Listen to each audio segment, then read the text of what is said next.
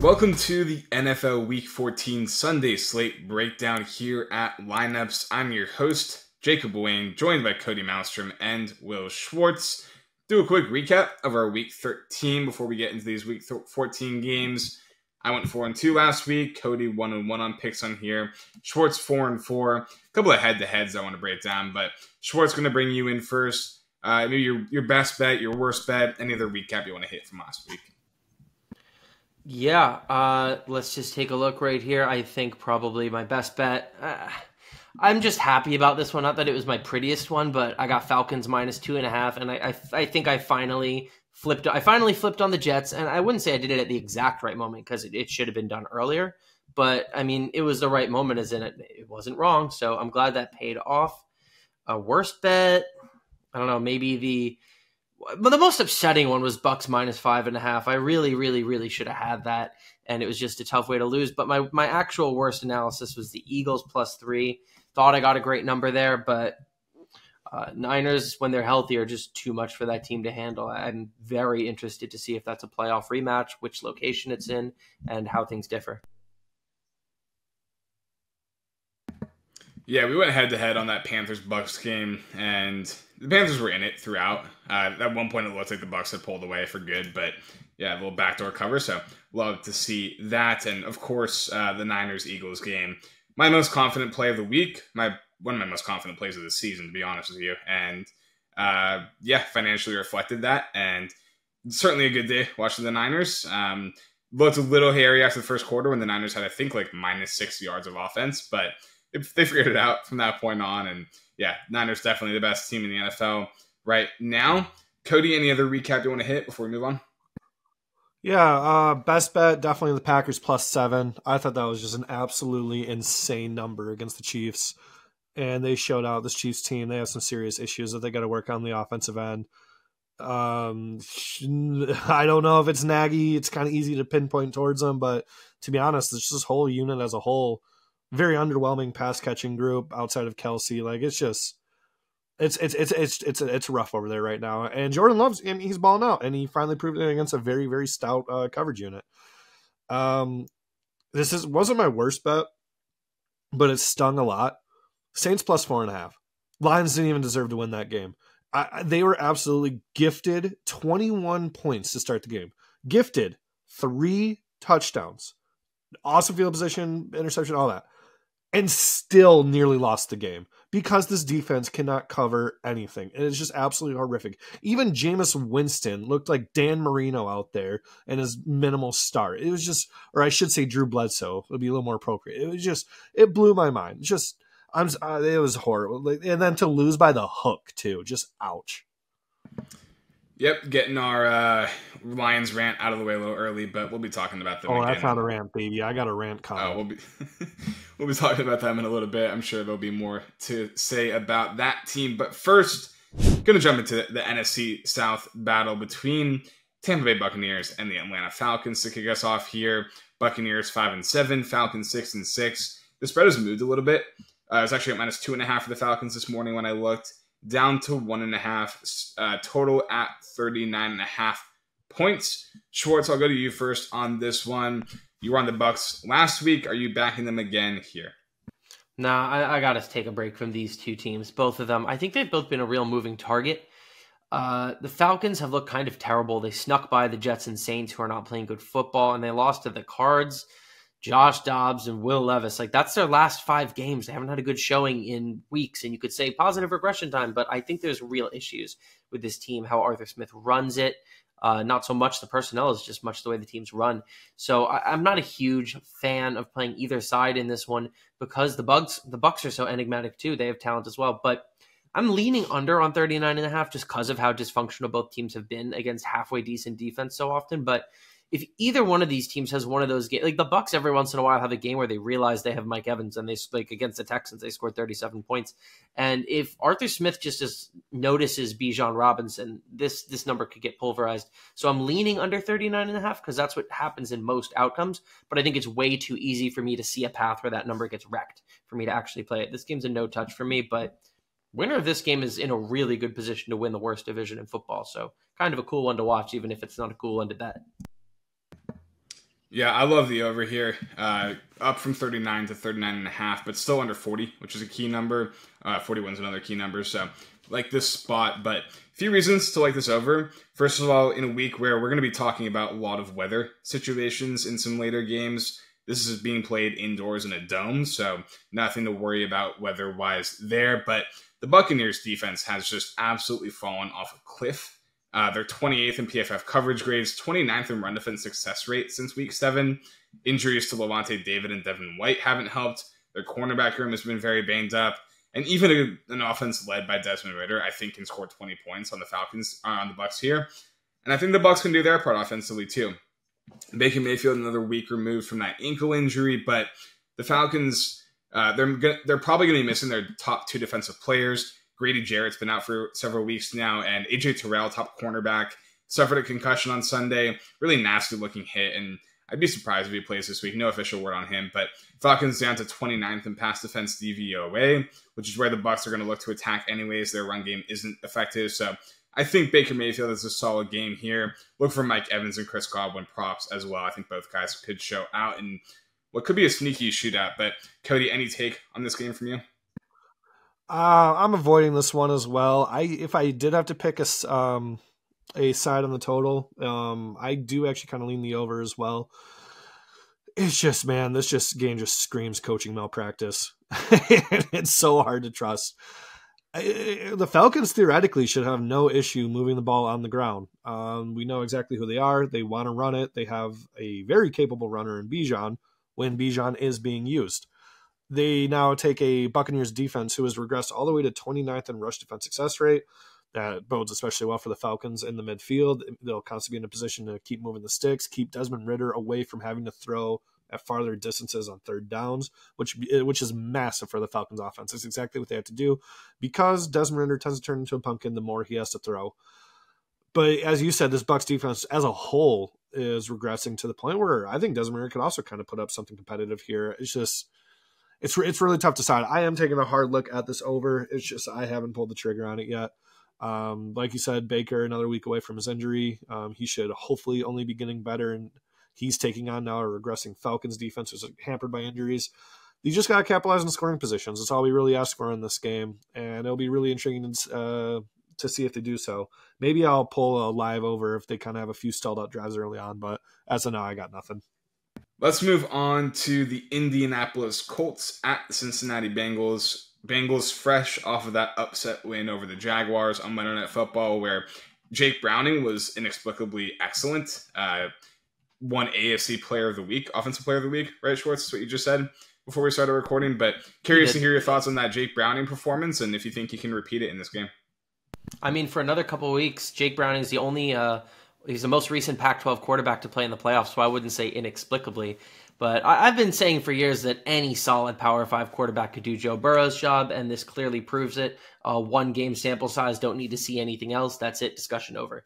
Uh, but jokes aside, Burrow, I mean, Browning has to come back to earth to at least some degree. I thought he looked fantastic, but we've talked about the backup bump like constantly. And that was just, I think, his first or second full game. I think the, the book has to be at least out on him to a degree, not in terms of anyone's actually shut him down now, but just that there's there's at least some tape to work on. And I think the Colts are an incredibly well coached football team. Shane Steichen is doing such a great job this season. I, I think he's a fringe coach of the year contender, especially if Indy can even make a division push because that race is getting fantastic. But I'm going with the Colts on the money line here. I'd be considering them even with Burrow here, not at minus 110. I'm assuming they'd be more like like plus 160 or 170 with Burrow. So I'd, I'd be looking at them in that case. But I'm definitely looking at them in what's being considered almost a pick 'em uh, these two teams are basically locked up by DVOA, and that's a lot of that statistical base is accumulated with Burrow. The Colts are way more balanced between the two sides of the football. Bengals cannot stop anything defensively, especially with the run. Think the Colts are going to be able to lean on that a little bit, give Gardner Minshew some easy opportunities by softening up the front seven uh, and forcing the Bengals to stop to sell out to stop the run. So I think that the Colts uh, are a smash play here at essentially even money on the money line. This is not a spread game uh, for me. It's going to be a tight one.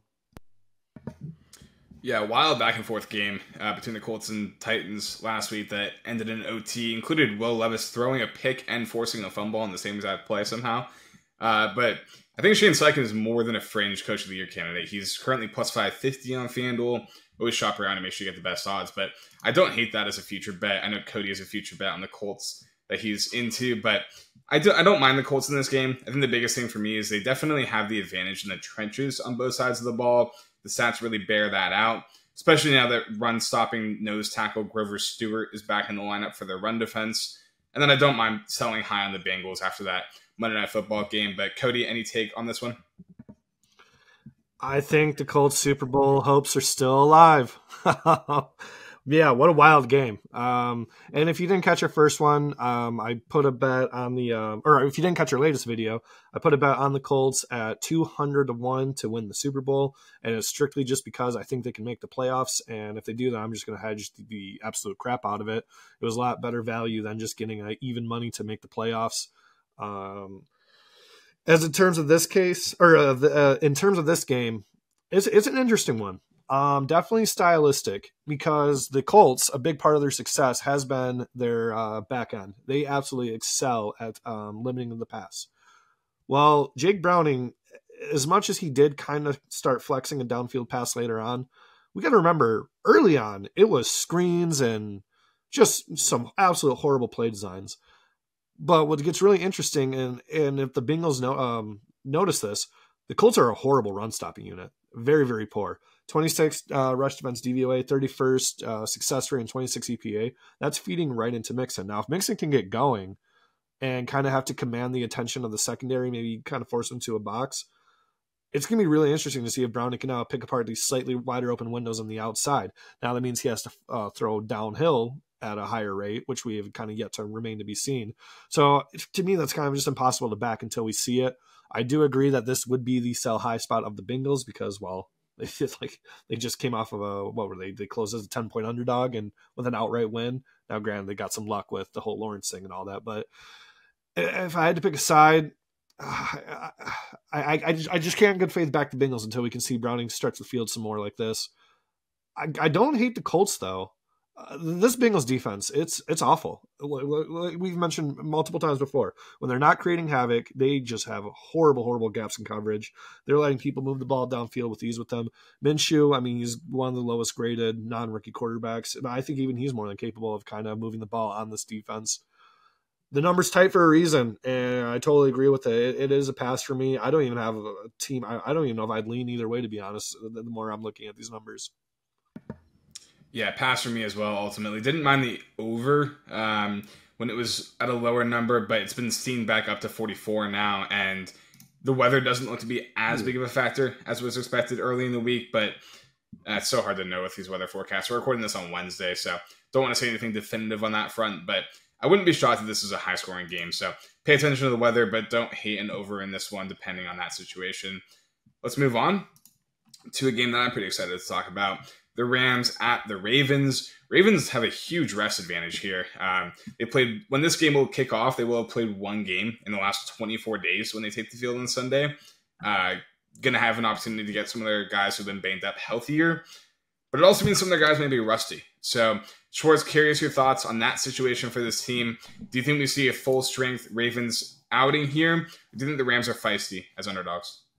I mean, I like this Rams team in a lot of ways, but they have such a hard time putting it together. And you're talking about rust. That that that's kind of a less fancy way to say lack of preparation in a way. And I'm not willing to entertain that with a John Harbaugh led team pretty much ever. Uh, this is this is probably the best coach team in the league, top to bottom, uh, in terms of the whole staff. And I, I just I'm never going to be against them being ready. I think rest is only a good thing. He, John knows how to leverage that kind of thing, uh, rather than make it work against you. I think it's time to sell high on the Rams. Three in a row is enough for me. It's been a it's been a nice little run for them, but they're they're going to go back to they, they can, it's just not going to last forever. And this has got to be the peak of the market, in my opinion. And I know this is going to sound a lot like my Eagles Niners breakdown, but we're not talking about the luck box Eagles. We're talking about the Ravens that every analytic loves. We're also not talking about the Niners. We're talking about the Rams. I don't think you can beat the Ravens in Baltimore or even play with them in Baltimore with the 21st best run defense by DVOA in case it even needs to be said, the Ravens' rushing offense is number one by DVOA. So I, I just think the Ravens are going to be able to control the football, uh, just stand on the Rams all game and just control, you know, just run away with this one at home. I have the Ravens minus seven. It's Obviously, not a perfect number, but I mean, a push is not the end of the world if it really does come down to that. I don't think it will. Yeah, I think the spread's overinflated. Uh, I, I really like the Rams here, and Cody, I'll let you get in your cap in a minute here. But um, the Rams have only had the trio of Cooper Kupp, Puka Nacua, and Kyren Williams on the field together for three games. In those three games, they're three and out, averaging 33 points per game. They've benefited from an easier schedule. Two of those games were against the Cardinals and the Seahawks, but they also just did that against the Browns, who have one of the best defenses in the NFL. What I, what I think the Ravens are going to do in this game, and by the way, the weather's going to be a, massive factor here 20 mile an hour winds and rain. I think the Ravens are going to run the ball. Schwartz said the, the Rams do not have a great run defense. This is true. But it's also difficult to really pull away and win with margin when you're keeping on the ground and not throwing downfield.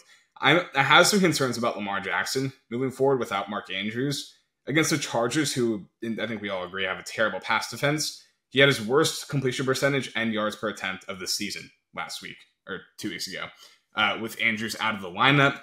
I'm just concerned about this offense's real explosiveness, especially in weather conditions. Rams, uh, now that they're fully healthy and Stafford's back as well, uh, I think their offense is arguably the better one in this matchup. I think you could really make that argument here with the Ravens missing Mark Andrews. And the Rams defense has some young pieces who have really improved in recent weeks, especially Kobie Turner on the interior with Aaron Donald. Really exciting tandem there. But I, just think this is a, a little bit too disrespectful to the Rams to give them the full seven points. And the final nail in the coffin for me, Lamar Jackson is one and eight against the spread as a favorite of seven more seven or more points in the last three seasons. So been profitable to fade him in these spots. Give me the Rams catching seven on the road against the Ravens. Uh, Cody, what do you think about this matchup? Um, I agree with Wayne, but it's for a different angle. I think this number is pretty inflated, and that is why I'm putting the Ravens in a long teaser piece. Uh, I will gladly take a minus one over a minus seven. And to be honest, this team's kind of entering Chiefs territory as of late. They just do not cover the big numbers. They just love playing with their food, and it is mind boggling dumb for just how well coached they are. I just I don't understand it. Um, I do agree this offense is going through some hiccups right now. They are sorely missing Mark Andrews. I thought Isaiah Likely would have a much much bigger role, especially as he's kind of like a more pure pass catcher. He's not a blocker whatsoever, but by not being a blocker, he's kind of now hampering the the, the rush attack, which that's where the Ravens that's their bread and butter. I the wind, the weather is a playing huge factor. Um, like if when you're playing a more heavier conservative run approach, you're just um, limiting the variance. It's going, it's to play towards a tighter number, which would play towards the Rams covering a score here. And to be honest, this Rams offense has very silently been just an, an elite unit. Like, you, like I feel like not enough people are talking about them. And it, like uh, Wayne said, it's kind of a very like rare sight to see when they're all at full health. Kyren Williams is also in a position to kind of shred, not shred, um, have some productive runs against a regressing Ravens rush defense, who is now dipped down to 12th in um, success rate. If he, as, as I was saying with um, Joe Mixon and the Bengals, if Williams can keep putting Stafford in a good position to succeed here, I don't see how they kind of have any issue at least moving the six into scoring position. It might not result in the points because the Ravens uh, do a great job of bottling up inside the red zone. But I mean, give me some field goals here in a clock run heavy game to stay within the scoring pace. I, I lean towards the Rams in that regard. Now, with that said, that's exactly why I'm going to take the Ravens as a teaser piece instead. Um, I just think it's a lot more security to just ask them to at least cover minus one. But yeah, I think this is going to be a, a super fun uh, kind of chess match here. Who'd you pair the Ravens with in that? We will talk about them later. Fair enough. Yeah. Um, I don't hate the Ravens as a teaser piece. Obviously, getting them down to minus one is good value, but I I don't know, man. I really wouldn't be stunned if the Rams pulled off the upset here. Um, Kyren Williams is one of the most efficient running backs in the NFL. Like Cody said, fifth in yards per attempt, and the Ravens do have a strong run defense, but what they don't have is a pressure unit. They can't really generate a pass rush. And if you give Matthew Stafford time in the pocket, granted the weather conditions are not going to be super conducive to the pass, but Matthew Stafford, when he has time in the pocket, is pretty effective as a passer still in this point in his career. And I, I think the Rams are a live dog in this one. So Going to be exciting to see how it plays out here. Let's move on to an NFC North matchup between the Detroit Lions and the Chicago Bears. Going to going to go to Cody first on this one. Cody, how are you feeling about your Lions after that win over the Saints, and do you see any value in the numbers on this game? I mean, it blows my mind that we dropped 30 in a win and I feel somehow even worse. It's just it, it's just it's never ending. It's just the same old story. If we weren't absolutely gifted, and, and to be honest, it wasn't even Carr's fault. I didn't hit, I think it hit the receiver in the hands or something, or he got tipped, whatever. If we weren't gifted just an interception right away for glorious field position, it's like it's, we're talking potentially we're talking probably a 10 point loss the other direction. Once the Saints got in the groove in the start of the second half, they just absolutely throttled the Lions. And that's including being without Carr for some of it, too. This defense just has absolutely horrendous issues. It blows my mind. And our rush defense is kind of taking a little step back, too. And then we lose Alim McNeill, which is a massive, massive loss in our front four across the middle. He is just an absolute big boy who you put in the middle and you're going to make a center's life miserable by collapsing him and someone else for just how massive he is. So now I, I don't know what we do. Rumors have it we're talking to Suh now, but then now those rumors have turned into well now Suh's now looking at the Eagles. So I mean, congrats Eagles. We every Eagles can buy everyone. I I, I don't know what we're going to do, and then we're potentially also without Anzalone, who I have been very critical of him. I can't stand him. I will give him his flowers. He was one of the highest graded, if not the highest graded, pass coverage linebacker. Well, guess what? Now without him, we're going against Justin Fields, who you have to excel. You have to be elite at the linebacker position at being able to stay in coverage while spied while matching the quarterback size. I don't think we have anyone to even do that now. I, I don't know what we're going to do. I have this is a Justin Fields FU revenge game after the ending to the last game. I he's especially with the weather. I, like they didn't even have to pass; they could run right over us, d- dominate time of possession, and then take advantage of Goff, who throws absolute pumpkins in the heavy wind. He throws such a weak ball.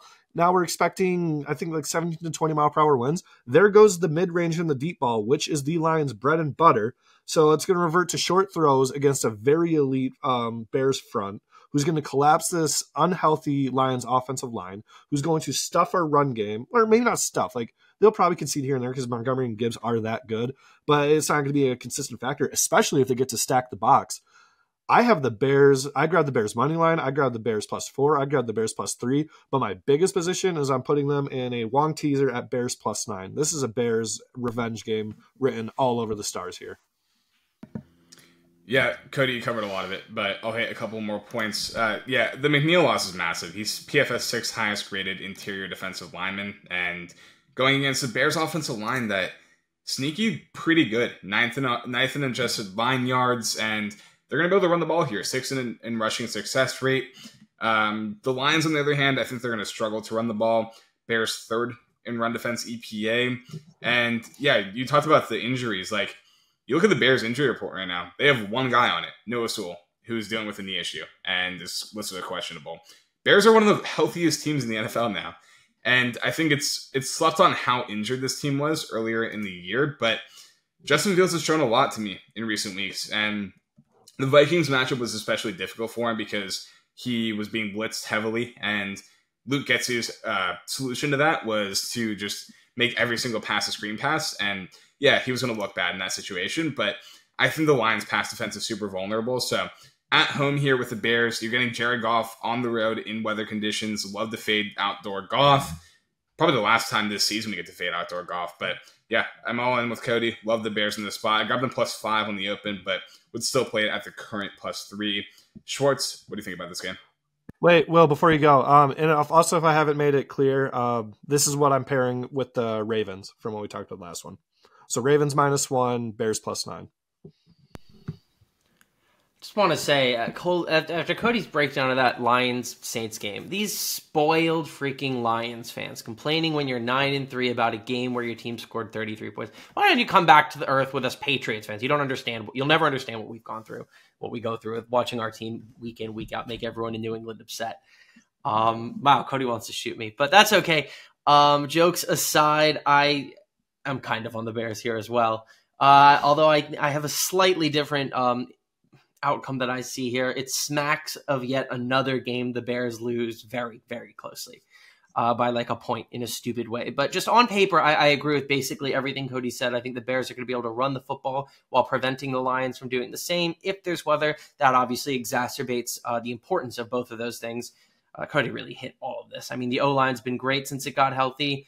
And honestly, I think if you're a Justin Fields hater, you're running out of complaints. I mean, he's not been top of the league. He's the fact that he was the leading MVP ticket taker over the offseason was a little bit crazy.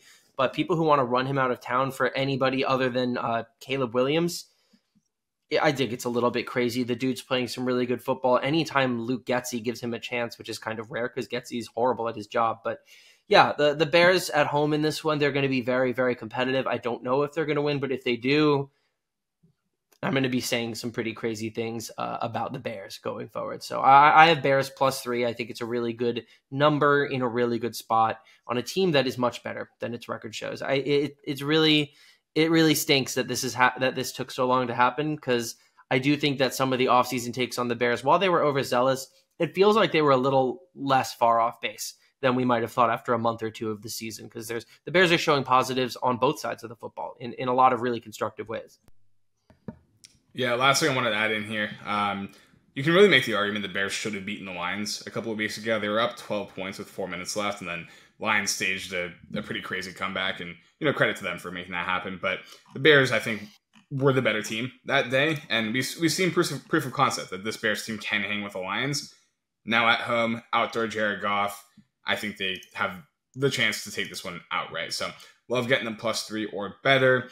Let's move on to the Houston Texans at the New York Jets, and oh. we we do have Zach Wilson back as the starter for the Jets this week. Announced this morning. Spread for this game has been moved down. I think it opened closer to seven, maybe six and a half, uh, down to three and a half now. Total has also dropped dramatically, opened at 37, down to 33 points. Schwartz, you've been in on this Jets team at various points this season. Are you backing them here against this Texans team that I think we're all pretty big fans of? No, but I'm also not officializing anything at this time with the Texans on the road. The number I was looking at was five and a half. I'm leaning Texans uh, at under that touchdown. But I think the Jets defense is such a moving target. They have the ability to do great stuff, but sometimes they just phone it in. And now Zach's back under center. I don't know what to think. I don't know what to make of that after the whole saga of him like kind of not wanting to do that. I don't think I've ever seen anything like that at the NFL level. This game is going to be a complete pass for me uh, from both the side and total uh, perspective because I just I don't know what to make of the Jets defense at this point in the season. Pretty short and concise here, but I, I do like this Texans team. I just am not a huge fan of betting them on the road if the Jets defense that it can be uh, shows up. That's always a tough proposition.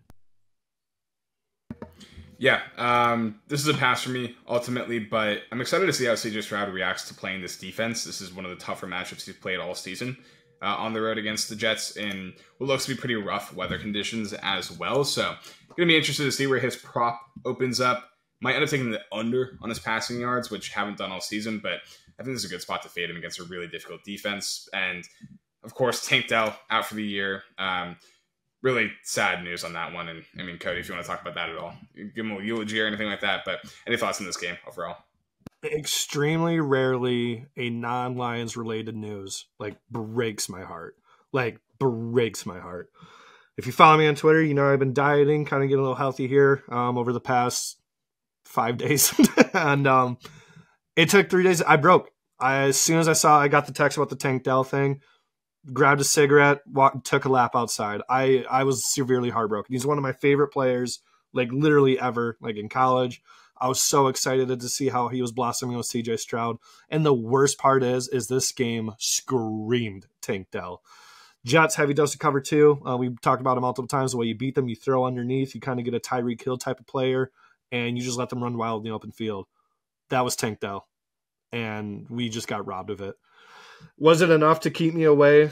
Um, to be honest, I didn't really have too much interest at the first place for how line this, how high the line originally was. But now it's kind of creeping down to where I kind of want to bet the Texans here. Even with Zach Wilson, I mean, he's mentally checked out. Like we know this. He literally outright said, like, I don't want to even come back as a starting quarterback. I, so like where where where's he at now with leading this offense and this Jets defense? While still have absolute dudes, like great team, they're getting tired. They're they're regressing. We've talked about this when you're on the field constantly, you can have the best defense in the world, but at some point you're going to get tired, sluggish, and teams are going to run on you. And now it's happening at an early rate for how horrible this jet stretch was. Now, is it enough for Nico Collins and everyone else to kind of exploit? Uh, it's really, really tough because they're losing Dell. That's a huge dynamic uh, streaking across the middle. I might wait to see if this touches three. I highly doubt we'll get to three. If it does touch three, I am hitting the Texans. But um, as of right now, I'm just kind of going to monitor it and keep uh, weeping about my loss of Tank Dell. Yeah, uh, a lot of fantasy managers certainly right there with you in that Tank Dell depression. Um, was very excited to see how he was blossoming this season, and hopefully he gets to back to full health and continues to build on this connection with CJ Stroud because the future is bright in Houston. Let's move on to the other NFC South matchup that we have this week. Carolina Panthers traveling to face the New Orleans Saints. Panthers will be five and a half point underdogs. The spread has bounced around a little bit. Uh, I think it got as low as four and then came back up. But this game will be played indoors in the Superdome in New Orleans. So no weather concerns for this one, but still a fairly low total of 37 and a half points. Schwartz, I'll go to you first on this one. Any thoughts on the spread or the total here? I'm borderline leaning the Panthers plus five because I think so little of the Saints. But I really, I really do think the Panthers can clamp down on the Saints pass catchers given their healthier, their increased help in their secondary, especially and Chinn did not like play at all, but Jaycee Horn played on a pitch count, but not like a crazy low pitch count. And his PFF grade was over 90, which should sur- surprise literally nobody who's ever watched Jaycee Horn. Dude's good. Uh, but I don't know. I, I just don't feel like I'm comfortable betting the Panthers in the Superdome. And maybe you want to be out of your comfort zone. I would like a little bit more of a rounder football number if I'm going to be investing them in this way. Panthers is my lean, but I'm not officializing anything out of this game. Cody, any thoughts on this one? Uh, I mean, I wanted to, I, I've, I was kind of hoping this was going to be around three, and I was going to hit the Saints here, but I just I hate this five and a half. Can't even get in a Wong teaser either. I think, that, but then, but then, so like, I, okay, so when you look at luck ratings, like the Shane, the Saints actually did kind of get shafted, um, bad result, but so did the Panthers. So it's not like we're even getting like a buy low on either team, or we, or no, we're technically getting buy low on both teams. Um, but this is this just climbed way too high for my liking, and now we're dealing with Jameis Winston throwing against who a, a secondary, a well, a very great, well coached um, defense, especially secondary that we really like. That I think could give Jameis Winston a lot of trouble. But now it's like, well, shoot, how are they gonna kind of shift this offense now? Are we gonna see like some more Taysom Hill packages? Are they kind of gonna uh, negate Winston here and maybe just run it with Kamara, who could find some success here. I have no idea. There's just way too many variables for me to kind of uh, piece together a puzzle here to build a case on either side. With this number kind of inflated, I'd probably play the Panthers at a plus six if it touches six, but it just sucks. Um, I was really going in hoping for a Saints minus three, open three and a half, waited. Now it's five and a half. It's like, well, shoot, now start looking at the other side here, but yeah, not, not nothing for this one. Uh, nothing on the total either.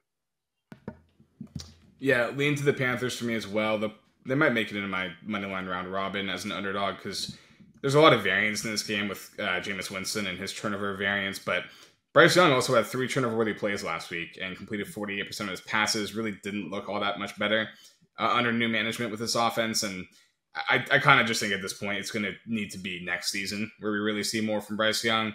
Not going to happen on the road against this Saints defense, uh, which is starting to get a little bit healthier. Love to see Jaycee Horn back out there and kind of a funny uh, back and forth with Schwartz last week on Horn about how effective he'd be right back in the lineup and PFF grade over 90 for the game. So he's one of the best corners in the NFL. So happy to see him back out there. But yeah, overall, this is a tough game for me. Uh, if you can get the Panthers at six or better, I like it a lot. But it, it's a pass for me at the current number. Um, let's move on to the Jaguars at the Browns. And Jaguars were playing their first Monday Night Football game since 2011. And the vibes were good. They were 10 point favorites. Everything seemed to be in place. And it's hard to imagine that game going any more disastrously. Trevor Lawrence, significant ankle injury. Christian Kirk out for the year with a groin injury. Jaguars lose the game as 10 point home favorites. Now they got to pick up the pieces and go on the road to face Cleveland, where they will be three point underdogs, shifting to three and a half in a couple of spots as I'm looking at it right now. Cody, are we backing CJ Beathard on the road against this Browns defense? Christian, that's official. Christian on Christian Kirk. I didn't hear that. I believe so. I'll, I'll check right now while you, wow. you talk. That's a huge, huge loss. Um, no, uh, obviously, I got nothing on this. Um, if you're a follower of ours, you know I absolutely hate backing quarterback uncertainty. And, well, this game has it with um, CJ Beathard. I I don't know. He it was a the issue is we didn't see too much because he did impress me with a downfield shot to Ridley um, that eventually that got called back. So it's nice to know that he'll stretch out the ball because you have to against this Browns defense. Now this Browns defense also regressing, like how we were talking about with um oh shoot oh with the Jets. There, it's just a unit that's constantly on the field, and their numbers are starting to dip because of it because they're just getting tired. But now, do the Jags have enough offensive firepower to kind of take advantage of that? I have no idea because the Travis Etienne thing it's not working uh, for the ground game. This ground game is just practically non-existent, and it's it's horrendous for the unit as a whole. And now, and now you have a backup quarterback without a um, reliable receiver, so you're kind of just limited here now with Ridley and Ingram. Ish, I, I I can't build a case that the Browns can pull away, and I can't build a case that the Jags can keep it tight enough at this current number. Um, too much uncertainty for me. I'm just I'm not going to bet it.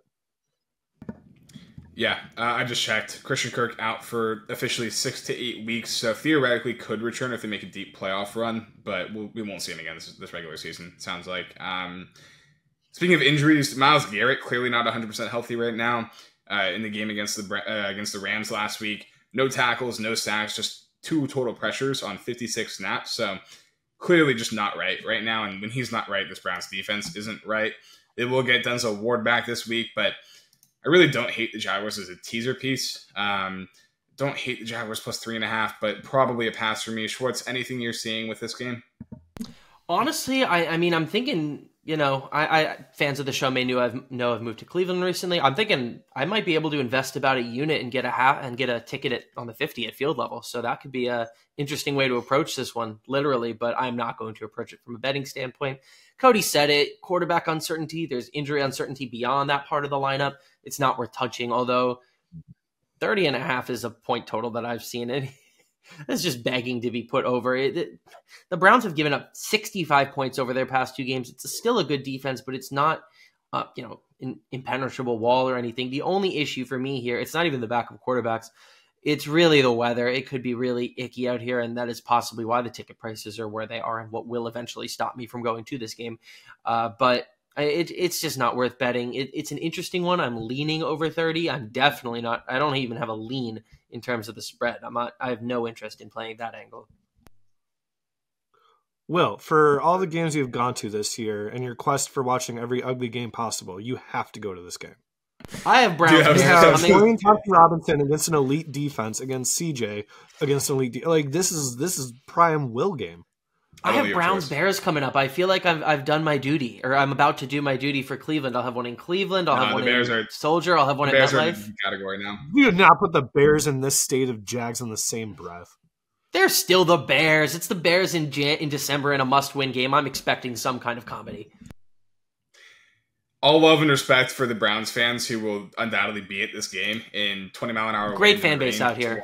Absolutely DJ great Beathard fan base and out Joe here. Love them yeah, much respect to the fans because I would not be going to this game under any circumstances, but no. it will be played. Um, yeah, 30 point total, one of the lowest we've seen in recent history. Um, right up there with the Patriots and Steelers on Thursday Night Football. So, oh, yeah, so to see how that one plays out, but let's move on to the Seahawks at the 49ers. NFC West rematch. We saw the 49ers dismantle the Seahawks on Thanksgiving. Heading into this one, they're 10.5 point favorites. with an over under of 46 and a half. Schwartz, how are you feeling about this rematch here? Any angle you like from a betting standpoint? Absolutely not. And that's what makes it a game that I'm super excited to watch because I really am pretty pretty iffy on what's actually going to happen and that's kind of what makes sports fun at times. But I'm not fading the Niners again, let alone at home in a game where I like them on paper, but this is way too big of a number for like a divisional rivalry game even with the Seahawks in worse form. I know we try and keep our analysis hard here, but we're talking uh, once again Pete Carroll versus the Niners with Kyle Shanahan. We've seen this a million times. These teams are super intense with each other It's super competitive. Uh, that being said, it's not enough to make me back the Seahawks because, like I said, the Niners are the play on paper, even at 10 and a half. I, I don't think the Hawks can take advantage of the relative shakiness in the Niners' run defense. I'm just not comfortable uh, with the number for San Francisco in a game where we know this is this is the Seahawks Super Bowl. They have two Super Bowls uh, in a year where they're not contending for actual Super Bowls, and this is one of them. It's just not an appropriate place to be playing a double digit spread on a home favorite. I'm excited to see it, but uh, for those reasons, I'm out. Yeah, I will say if you want to back the Seahawks here, my preferred way to do it would be with the first quarter spread. You can get, you can get that at plus three and a half in some some spaces. Um, it is juiced at minus one twenty, but I think the Seahawks start here pretty fast. I think they're going to come out. They have the rest advantage after playing on Thursday last week, and like Schwartz said, this is their biggest game of the season. So I wouldn't be shocked if the Seahawks are leading after the first quarter. And we see the Niners start a little slow off that big win over the Eagles, but over the course of the game, the Niners should uh, pull away. Cody, any thoughts on the spread of the total here? Oh, I can't. I'm struggling to build a case for the Seahawks. But man, I hate this number for the 49ers. They, but they, but at the same time, they have they have had no issue putting away um, some opponents like this. You, we uh, Kenneth Walker. I'm assuming he's coming back. It's listed as questionable. Um, is it is it to me? It's just can they do enough to stack the 49ers box? Kind of have to make them respect their own struggles in defending the run. And also, I mean, but also at the same time, DK Metcalf has kind of been building out a role with Geno Smith here. He's, he's been doing an absolutely phenomenal job, and he's just really imposing his will as the most freak athlete at his position. But man, this 49ers team is just so elite in coverage. So, so elite. Third across the board, or no, third in pass defense DVOA, six success rate you're going to really make Geno under pressure convert at farther distances. I don't know if he can do it at a high enough rate to sustain drives on the field. And now, once you're giving the 49ers the ball, this 49ers offense is clicking on all cylinders now they're kind of back at full health. I don't know how the Seahawks really stop them. When Deebo, Aiyuk, and McCaffrey find open space, we're talking chunks at a time and quick scores. You can say that this is a letdown spot, though, after the huge win last week. I just don't even know if that matters in this one it's a stay away for me. I I think what I'm going to do is well, I'm also looking at the over though because I do agree that the Seahawks could punch him in the mouth early. And, and if they can even do slightly towards their part, I have no. Uh, oh, actually, no, hold on. I might do a 49ers team total over. Let me look at the number. I know what you like. You, you want to just go ahead.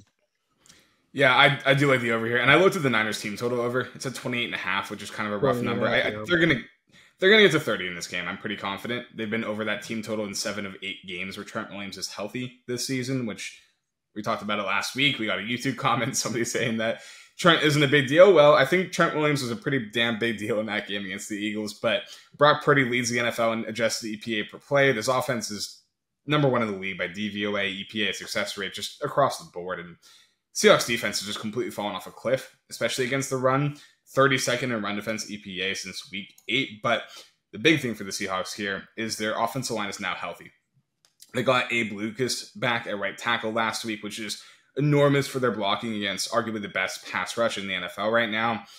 Geno was under pressure against the Cowboys last week, but they had a really good game plan for how to handle that. And I think they're going to have more of the same here. Geno had six big time throws in that game. And if he plays like that, they're going to be able to put up points on the road here. Niners should have no issues putting up points as well. So really like the over in this one. I think I think it's something like thirty to twenty. Niners would would be a pretty safe bet here. But Cody, any thoughts? Yeah, I think I'm going to be leaning towards that over as well. I, or um, I'm sorry, I think I'm going to be leaning towards that uh, 49ers team total over as well.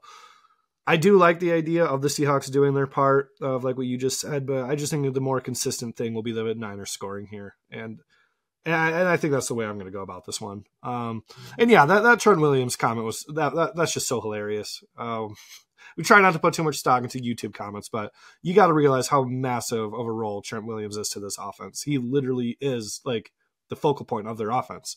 You got the way that they shift him and move him, how he can anchor one side. I I could just watch Trent Williams tape like all day long if I want to. And I, honestly, that kind of sounds nice with some dinner after this. Yeah, the other thing I want to say about the Seahawks is the emergence of Jackson Smith-Njigba is is huge for their offense because now you have three wide receivers that you really have to pay attention to with him, DK Metcalf, and Tyler Lockett. And the Niners secondary is improving, but they still have some holes that I think the Seahawks can exploit to an extent. Um, and I wouldn't be shocked if their defense is a little bit flat early on, given the huge win they're coming off of. So wouldn't, wouldn't be shocked if the Seahawks get 10 plus points in the first half and really help contribute to the over here. But Schwartz, any lean on the total for you?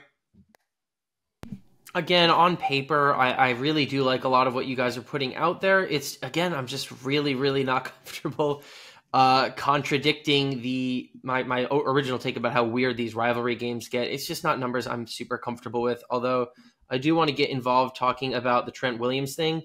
Uh, I'm just clicking through PFF and trying to find the last time a team won a Super Bowl without really good run blocking. And shocker, the only team of the last about about ten years to win a Super Bowl with sub average run blocking in the postseason was Tom Brady and the Buccaneer, or sorry, pass blocking, Tom Brady and the Bucs. So if you're not Tom Brady, you're not winning without stellar offensive line play, not just good. So I think it's hard to overvalue a player who's impactful as Trent in both the pass game and the run game when you're someone like the 49ers who have they run on rushing offense and Brock really needs a clean pocket. He really, really does. So I think him being healthy is huge for this team, which is why I'm not willing, a huge part of why I'm not willing to fade them outright.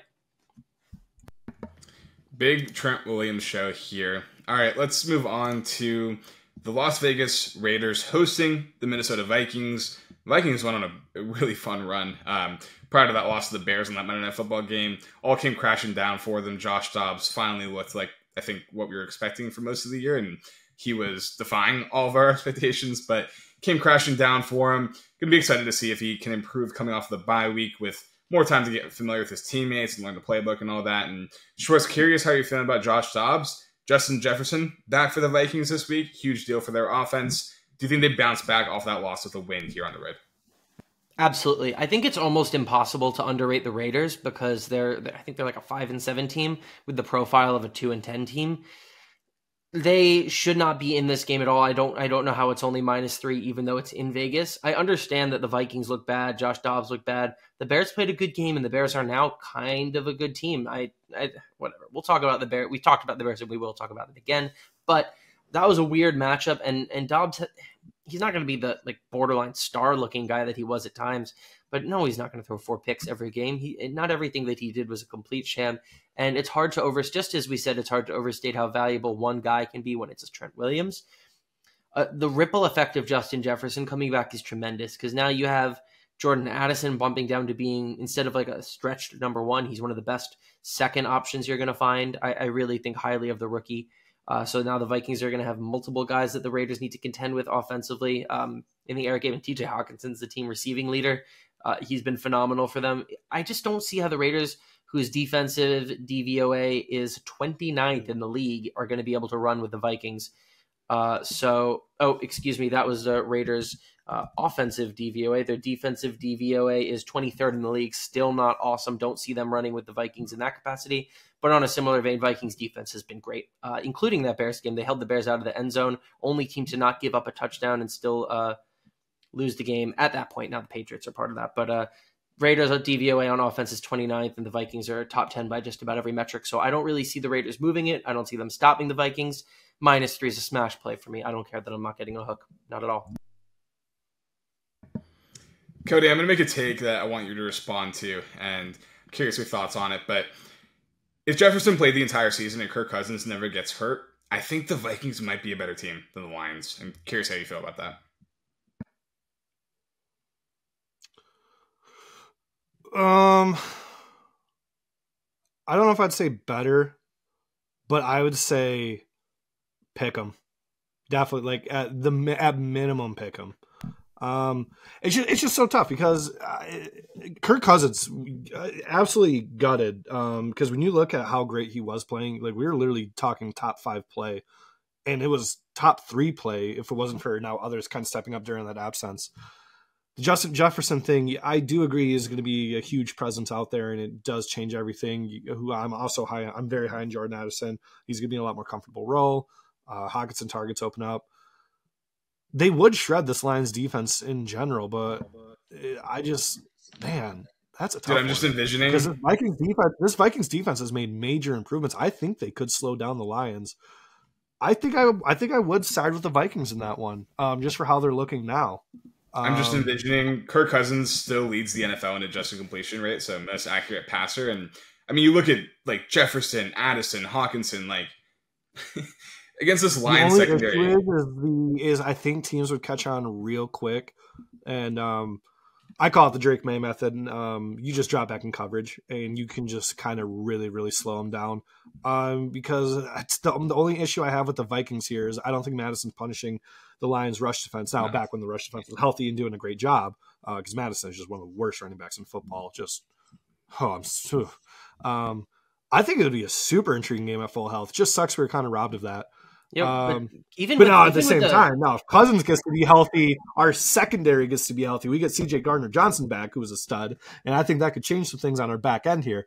But I think as of right now, if you put them together, yeah, it would. If you had Kirk Cousins back and a healthy Jefferson, I would definitely lean towards them because his defense has made major strides. They can slow down the Lions' offense, and I think they could squeak out a win. Even with C.J. Gardner yeah, Johnson, I'm not sure about the. I'm not sure about the depth of that secondary going up against Addison and Hockenson as well.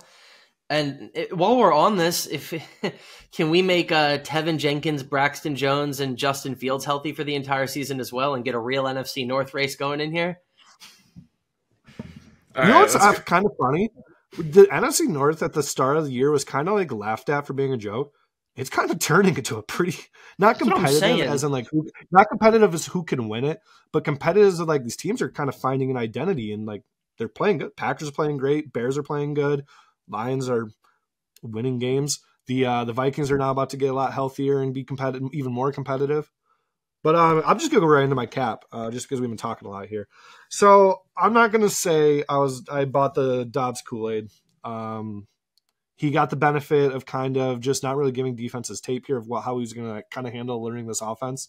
And I said before the Bears game, the issue with Dobbs was going to be when he faces a linebacking unit who can just negate his running and just make him sit in the pocket and kind of revert towards. He's a capable passer, but he's not like a lethal passer. And now, obviously, it's not going to say like, "Oh, I called the four interceptions coming," but I called a poor passing performance coming. Little did I know it was going to get that rough.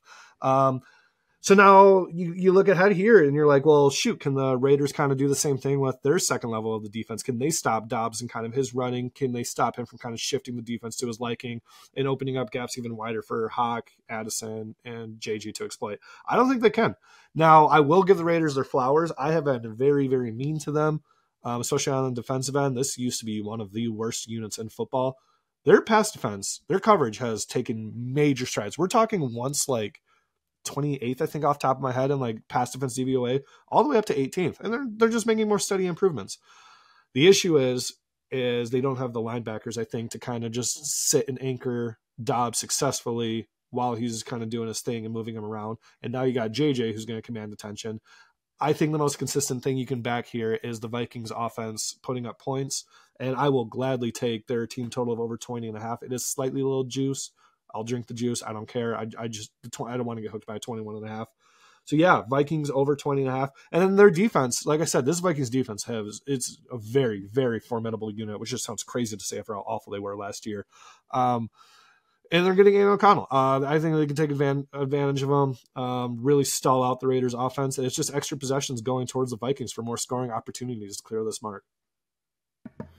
Yeah, I think the Vikings are one of the defenses that you really don't want to face if you're a rookie quarterback with all the disguise pressures and everything Brian Flores does for them. Um, not thrilled about Aidan O'Connell facing that defense, although I do think uh, the Raiders' pass defense has improved a lot. Uh, eighth in dropback EPA allowed since week eight, so been a lot better, like Cody said, and they do a really good job of limiting big plays. Um, it's a pass for me from a side perspective. Really lean the under, and might end up firing on it. I'm going to do a little more reading on it because I kind of just thought of that just now. But yeah, lean the under for me. Um, Schwartz, you're on the Vikings there. Let's move on to divisional matchup between the Denver Broncos and the Los Angeles Chargers. Schwartz, you were on the Broncos last week. Very close game throughout, and really had a chance to cover on the final play of the game. Uh, failed in that fourth down conversion. But any thoughts on the Broncos heading into this matchup against the Chargers? Oh, we're so back, dude. We're uh, we're gonna bet on the Broncos once again. Back to the well. Back in the Broncos. Got that flat three I was looking for. I, I was seeing two and a half earlier. I don't get how anyone can be, almost anyone, I should say, can be an underdog with this Chargers team. They they tried to lose to the 2023 New England Patriots. That's so hard. It's so hard. This is a great buy low after a road loss to a good team for Denver, while the Chargers are still horrible. I don't think the 27th pass defense DVOA in the league is going to do it against Mr. Unlimited and uh, the current form of Courtland Sutton, who just makes at least two or three ridiculous downfield plays every single game, it feels like. Uh, well, I'm sure Wayne's about to get into this, so I'm not going to get too uh, heavy into it, but Justin Herbert's looked off. And the current version of the Broncos defense, uh, anchored by my dude Justin Simmons, uh, is going to be able to limit him. So I think that Broncos plus three is a smash. I am considering. Uh, I mean, I already got in. I'm not officializing it uh, for you guys, but I'm already lightly in on the Broncos money line, and I'm considering doubling down. Uh, this is a really good spot for Denver. I think the Chargers are completely bottoming out. Fire Brandon Staley. Yeah, um, I, I, hate I hate to say it, but I, I am on the Broncos here, and it's ultimately it's just a coaching bet for me. It's Sean Payton versus Brandon Staley in a game where there is no home field advantage. Uh, I actually I might go to this game to be honest. I'm I'm pretty close to LA and I might bring my Broncos jersey up there, but um, yeah, I just this is just a bad matchup for the Chargers. They can't run the ball at all. Dead last in rushing success rate, and that's where you really want to attack the Broncos because their secondary really has improved a lot. Uh, they're 31st in run defense DVOA, but their secondary has been getting better. Uh, the Chargers' entire offense right now is kind of just throwing it to Keenan Allen, and that's not going to work with Patrick Surtain blanketing him. Chargers receivers have had a really rough year, especially with the injuries, and they've lost the most EPA to drops in the NFL. I, that's just that's not going to change with Quentin Johnston running out there. Um, and the Broncos might be the worst team in this matchup. I think you can make that argument, but I think that's overcome by Sean Payton just being a far better coach than Brandon Staley. I mean, the Broncos are minus three in turnover differential last week, 0 for 11 on third down, got outgained by over 50 yards, and they still had a chance to beat a very good Texans team on the road. And to me, that's just coaching. I think Sean Payton gives them a chance to win every week, and I think this is a good spot to back them. Uh, Cody, any thoughts here? Yeah, I'm all over the Broncos as well. Um, I, I call it the Drake Maye uh, method earlier because um, I said that last year when that's how when Drake Maye started looking bad, they just dropped back in coverage. I should really call him for NFL. It's a Justin Herbert method now. Chargers run game. Austin Ekeler, wh- what happened? You used to be one of the, if not the best, at least with McCaffrey. You're a dual threat sensation. You just haven't looked the same since he came back. He has not given this ground game any life. Any. 25th rush defense DVOA, 32nd in success rate. That means the Chargers are the worst team at even getting like four yards to gain, five yards to gain on first down, second cutting second down, converting third down. You're forcing Herbert to throw into now there's just these coverage heavy units. I mean, I think the absolute lowest of the Patriots. This is not a shot at Will, but especially uh, with their coverage, even the Patriots can prove just sell out to stop the pass, and you're going to hold the Chargers to six in the worst game I've ever seen to six. And, and and and as we mentioned, this coverage without Christian Gonzalez, like this Patriots coverage, like is nothing special. It's horrible in metrics, and they just slowed down the Chargers' one-dimensional offense. Now you're letting the Broncos do the same thing with a far better uh, coverage unit. Man, uh, good luck moving the ball with that one. And then I think the Broncos. Um, we did talk about the turnover luck. Little did we know it was going to be Russell Wilson. I think what three interceptions now he's taking on just a horrific defense. I I hand up earlier this year. I tried to make so many excuses that this this, this unit would turn it around just because of the talent they have. I don't understand how they could have great talent in all three positions. Oh, now also without Bosa. Um, and just play the way they're playing. These numbers are just absolutely horrendous. 27th pass defense DVOAs, 22nd rush the the Broncos offense, don't get me wrong, they're not like world beaters by by any means, but I think Javonte Williams is in a great position to um, kind of set up Russell Wilson and their pass attack here. And you're giving me a key number of three, even on the road with not even a home field advantage. I wouldn't be surprised if there's more Bronco fans out there. Um, yeah, I'm all over the Broncos here, and I think even the market's agreeing. I think it's dipped to two and a half. Yeah, two and a half is now starting to show up wildly. Yeah, if this is at two and a half when you're watching it, I think the Broncos become maybe the best teaser piece on the board. Um, tease it up to eight and a half. That's the way I would approach it if it's at that number when you're watching it. But yeah, I think we all agree. I think the Broncos have a very good chance of winning this game outright. And on the Ekeler point, I think Justin Herbert just doesn't even seem to want to throw him the ball anymore because he knows when he gets the ball in his hands, it's just not nothing's really going to happen. So, hate to see it for Ekeler. Was one of the better running backs in the league, like Cody said, and it just it just hasn't happened for him this year, coming off the injury. So, Schwartz, any final thoughts before we move on to our last game? Yeah, I mean, I it's not like I would disagree that I don't know how this defense isn't performing better. It's because they have the single worst head coach in the entire NFL who's supposed to be a defensive guy and has completely failed at his job. But yeah, I mean, obviously we're all together on that, which is a little bit eerie, but I like it. I think this is a great spot for Denver. They they need this absolutely need this win uh, to stay in the playoff hunt in a very crowded AFC. So, and I think that, and I think they'll get it. This is exactly the kind of spot where Sean Payton's going to shine. All right, let's move on to the final game on the board. The game of the week, in my opinion, Buffalo Bills at the Kansas City Chiefs, competing with the Cowboys and Eagles for the game of the week, but should be an awesome one. Always fun to watch Josh Allen and Patrick Mahomes square off. Looking at a spread of down to minus one and a half for the Chiefs, over under a 48 and a half points. I have a lot of thoughts in this game. I'm assuming Cody has a lot of thoughts in this game, but Schwartz, I'm going to let you go first on this one. How are you feeling about the Chiefs coming off that loss to the Packers on Sunday Night Football? Dude, I'm so ready to get burned. I'm buying low on the Chiefs. They've looked rough recently, but if there's anything we've learned from these Chiefs, is that that's the exception and not the rule. They're going to bounce back eventually. I think it's going to happen right now. We're talking about the Mahomes under a field goal thing. I don't love trends, but some things aren't trends. It's just that really good quarterbacks win home games. And when they're given a small spread, usually a win, it's going to be a cover as well. So I think that Mahomes under a field goal at Arrowhead angle is great here. Call it an angle, it hits all the same. I think the Matt Milano injury is still a serious issue. We talk about uh, we've talked a lot in this show about how good middle linebacking crews are really important when you're going up against mobile quarterbacks. Now, Patrick Mahomes is not a mobile quarterback in the sense that he's going to pop off for 95 rushing yards on 12 carries. What Mahomes does do better than maybe anyone ever has in this game of football is use his level of athleticism behind the line of scrimmage to open up passes and create opportunities and even scramble to con- he's made a huge scramble conversion in like almost every big chiefs win it feels like milano uh, was a kind is the kind of guy who can limit that he can cover while spying and force Everett. He can allow the Bills defense to stay home while Mahomes is doing his behind the line of scrimmage stuff. He's out. That's a huge problem. And I think conversely, the Chiefs have the dudes in the front seven to limit Josh Allen's physical gifts. He's great against the blitz, but bad against the pressure.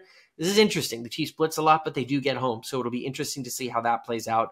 But I, I think that there will be some big plays available for Allen for that reason. But I, I think there's going to be classic Josh Allen turnovers at some point in this one, just with the with the level at which the Chiefs are able to get home, uh, even against mobile quarterbacks. I think this is a fascinating game. It's been one of the AFC defining matchups over the past few years, but this could be a dagger for the Bills if they don't pull the upset out. Yeah, yeah. Bills' season's on the line in this game. If they lose, they're done. Um, but I think they're going to win.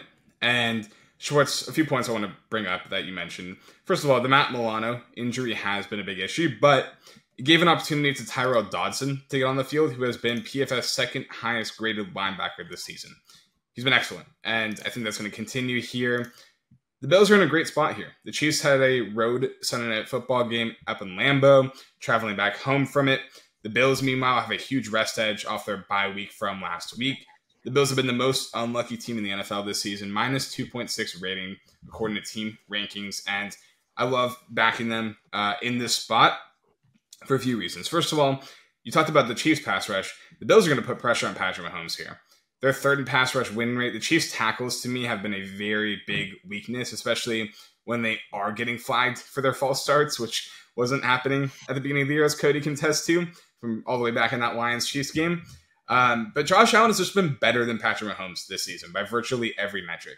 Better in PFF passing grade, better in yards per attempt, even better in turnover worthy play rate. Allen's actually has Allen actually has the sixth lowest turnover worthy play rate. We love to talk about Josh Allen's interceptions. He's been unlucky in that regard to have so many turnover worthy, so few turnover worthy plays, but higher amount of interceptions. Big issue for me here the Chiefs just don't have the skill players right now to really compete. Travis Kelce is clearly declining at 34 years old. No, I'm not going to say it's because of Taylor Swift, but he is having one of his worst seasons. He just looks a step slower, and his yards per route run, yards per reception have declined. And I think the Chiefs just don't have enough answers for this Bills defense. And the Bills defense has had some issues this season, but they're getting healthier. Coming off the bye week, I think they're going to be able to have some success. But Bills offense is the best unit on the field in this game, in my opinion. Third in DVOA, fourth in EPA. Josh Allen is going to win this game for them coming off the bye week. Very excited to see what Joe Brady cooks up, the new offense coordinator for them, but love the Bills in this spot. Cody, how are you feeling about this game? Well, you know I love the Mahomes angle at anything under three. So what's the best way to bypass that? Wong teaser, baby. Wong you know teaser. who's coming. yep, I love me some Wong teasers. Um, I'm going to be combining. Oh, well, I guess I have to say it. I got the Bills up to two and a half. I'm going to be combining them with the Packers. Uh, I'm just saying that now because Packers are a separate video. We'll be talking about it later. Which just realized I have to do a different angle for them now. But so yeah, um, that's kind of helping with my Packers case. I love the uh, the Bills Wong teaser here, and it's it's simple. I don't see how the Chiefs get them off the field. This Bills team, we're talking top five rushing pass EPA, and this Chiefs defense, man, like great coverage unit, but man, they can't stop the run. And I think you can use the run here to kind of set up these Josh Allen um, deep balls, and uh, which is going to come to hopefully great reward because now it's hopefully it's at less coverage to kind of negate some of these backbreaking Allen turnovers that we have oh so come to love. And then on the other end, I think this Bills, um, since they, they kind of had that stumble with injuries, they have been steadily improving. I think they can get to this. I don't want to call it a weak Chiefs offense, but I'm just running out of adjectives here. Discombobulated. Oh, we're using that. Um, Kelce, he's looking slower. He's looking kind of sluggish. Um, I truly think, and they just won't say it. I truly think him and Mahomes are dealing with injuries that they just refuse to say out loud. That um, was it the Broncos game where Kelce had that non-contact knee freak thing um, that we thought like his season was over. Uh, Mahomes, every time he gets like kind of weirdly tackled, he's always limping on that same ankle he had issues with last year. I truly think there's something going on. And then that's not even factoring in that this pass catching group that is just has not stepped up when they've needed to. I don't think the Chiefs can honestly match the Bills' scoring pace in this one. It's just a really bad spot for the Chiefs. I, I, I got the Bills now. I do. I. I will admit I shouldn't be terrified of narratives, but I am terrified of the late Magic uh, Chiefs action here uh, to potentially cover that thing. So that's why I will gladly take the Bills in the Wong teaser, but it would not also surprise me if the Bills just run away in this one. Yeah, and part of the uh, luck that I wanted to I wanted to just shout out this stat is the Bills have the fifth highest point differential in the NFL at plus 101, and they're still six and six somehow. The Chiefs, meanwhile, eight and four, but they're below the Bills in point differential. Um, basically, saying the Bills have lost a lot of re- really close games. They're due for some positive regression, and I think they get that this week. Um, the other point I want to make, Schwartz talked about the Chiefs pass rush. Bills' offensive line has been elite. First in adjusted sack rate, allowed fourth in line yards. Quietly one of the better units in the NFL this season. They're going to hold up here, in my opinion. I think James Cook could have a big game. Really excited to see more out of Dalton Kincaid and Khalil Shakir as really big parts of this offense, but I just think the Bills have more answers on offense at the skill position uh, spots. And I think Josh Allen, with the season on the line, goes into Arrowhead and gets the win. Schwartz, you want to um, rebuttal anything that I said? I actually think it's really interesting if the Bills pull this one out. They're a game behind the Chiefs with head to head. Not that they're going to win the division and make that matter for seeding, but I just think it's very interesting how differently these teams are perceived, and they could be one game away from being just right there. Uh, yeah, I think on paper a lot of the things you guys said make a lot of sense. I'm too. I'm definitely concerned about Kelce. Mahomes might be hurt right now, but Kelce might be trending towards done. I mean, he's a six foot five dude who's like 34 years old. Uh, then comes for everybody. I don't. I don't know that he's done done, but he might be done being the most dominant receiving threat in the league uh, for some time uh, or forever. He'd be done forever. So I that gives me a little bit of pause. I just I am not sure that the Bills offense is going to be able to do this like kind of score every possession thing we're talking about against the Chiefs defense. But you guys make some compelling points. I think that there's just something about these legendary quarterback head coach like dynasty juggernaut type of situations where they just find a way every single time, especially at home. I hated when people would just kind of always say this is it and this is the spot where the Patriots stumble and it never would be. I've tried not to be that guy for the Chiefs dynasty, but yeah, on paper th- this could be this is could be a spot where they're vulnerable. I just think we've seen this film a handful of times, and I'm going to stay on the Chiefs side as long as the numbers with me, which it was. I was able to grab that two and a half. I'll give you props. Thing I want to bring up here. Kelce, that is a hot take. Oh, what was that? What was it? Uh, couldn't hear you there. I'll give you props. That is a hot take on the Dunn Kelce Dunn thing.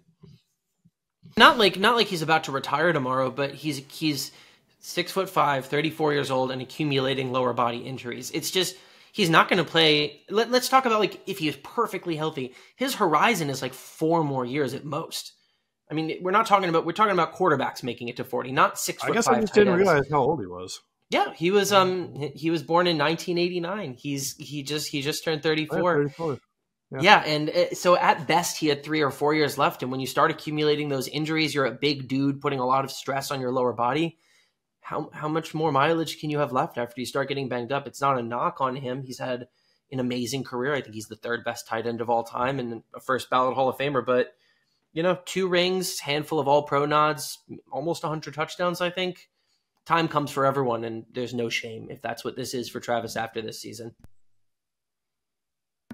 The other point I want to make is if you agree with me that the Bills can go on the road and win this game in the Arrowhead, you should be buying Bills futures in the Super Bowl market. You can still get them at 45 to 1 on DraftKings, which is an insane number. Um, yes, their playoff chances are, are looking a little bit grim, and they would have to be, they probably have to be damn near close to perfect the rest of the way. But after this, they do get the Cowboys at home in a game where I think they'll be favored. And then the final week, they'll play the Dolphins in Miami not a spot where they've done well historically, but if they win that game, they're in the playoffs probably. And the last thing the number two seed wants to see in the first round is going to be the Chiefs as a seven seed. I think they find a way to get there. And once they're in the playoffs, they're a very live dog. So I love the Bills at 45 to 1 to win the Super Bowl. Because this team, if they get in the playoffs, they they have the, the caliber of a Super Bowl team. They're sixth in DVOA, fifth in net EPA.